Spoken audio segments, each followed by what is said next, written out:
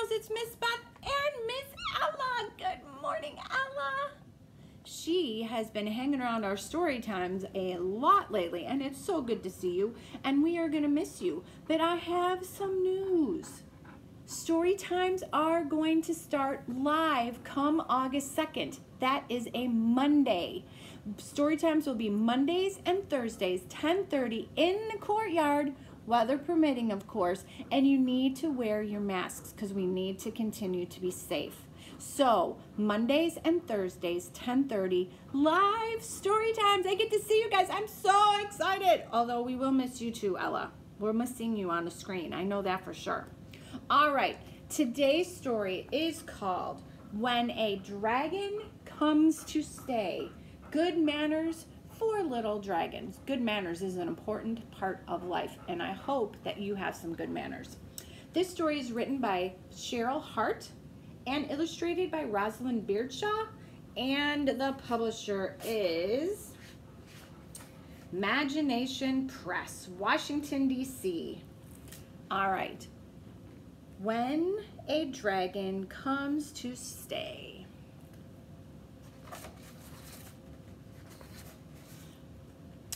When a dragon comes to stay,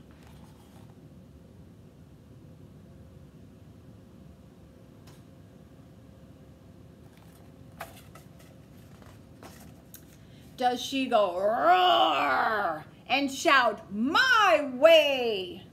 And does she snatch and keep the toys away from other girls and boys?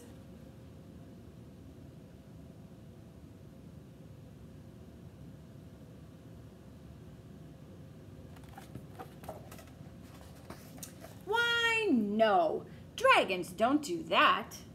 A dragon knows she must play fair and wait her turn and always share. She knows the rules of all the games and never argues or complains when she's the last to have a go. That's just how dragons are, you know.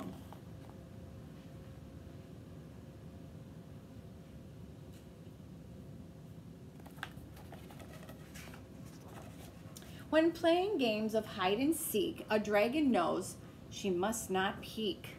She counts out loud to 21, then calls out, ready, here I come. She never finds you right away. That's just the way that dragons play.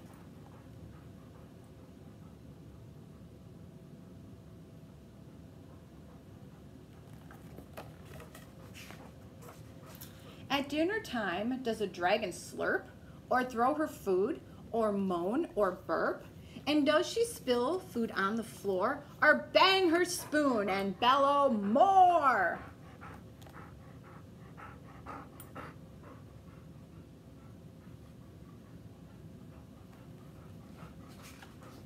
Why, no, dragons don't do that. A dragon smiles and sips her tea and eats her sandwich daintily. She says the lettuce tastes just right and never ever gets a fright at anything that's on her plate. Yes, dragons really are that great.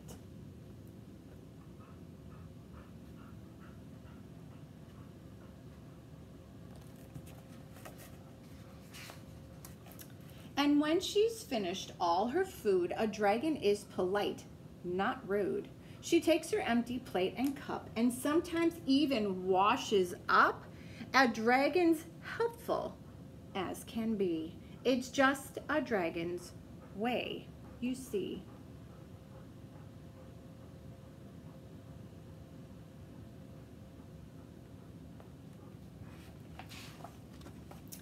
Then when the day is nearly done and we are tired from having fun, do little dragons wail and moan, or flap their dragon wings and groan?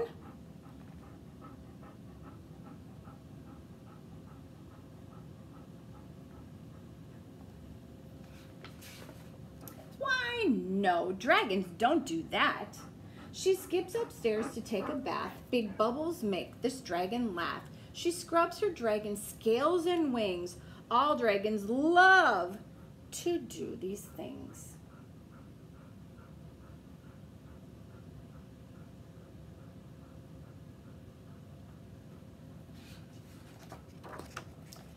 She puts some toothpaste on her brush, then cleans her teeth.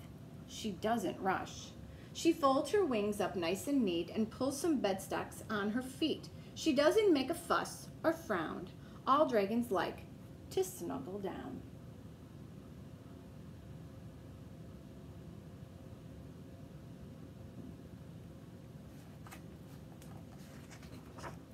Then when it's time to go to bed, does this small dragon shake her head? Does this tired darling cry or pout? Or throw her favorite toys about? Mm-hmm.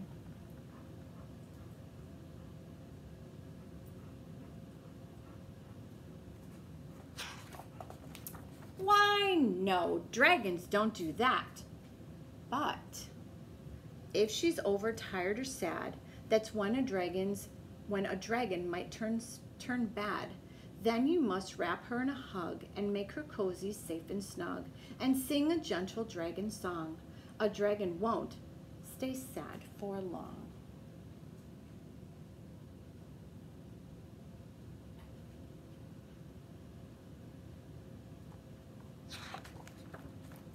So pull the cozy covers tight to help her sleep all through the night.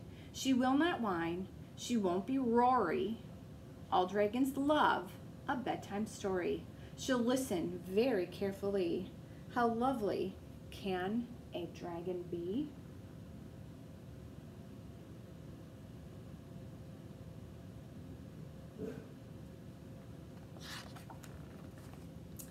And if her snores keep us awake, and if they make the windows shake, and if they rumble through the wall,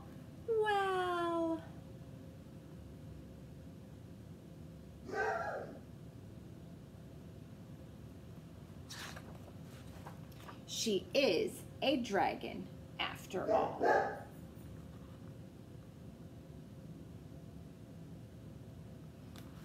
Oh, you know I love that one. I love that one because those are some good tips on being a good dragon. I am Miss Beth, and I just would like to remind you that Storytime will be live starting Monday, August 2nd in the courtyard at 1030, weather permitting, of course. And I am so excited to see all of you out there. I am Miss Beth, and I hope you have an absolutely fantastical day, and I cannot wait to see you then.